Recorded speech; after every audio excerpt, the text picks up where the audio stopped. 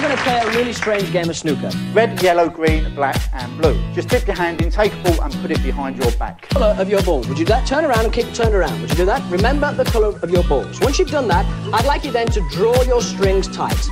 Now, if your balls change colour, you know you've drawn the wrong string.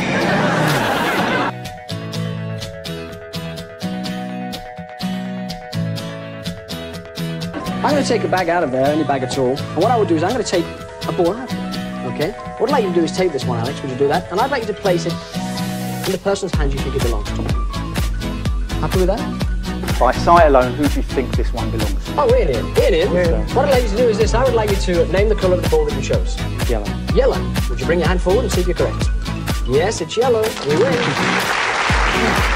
You bring your hand forward if yours is red and yours is blue. We win both. What was the ball that you chose? Black. Bring your hand forward, see you have black. Yes, you've got it. We've done it again, Alex. Please make your way back.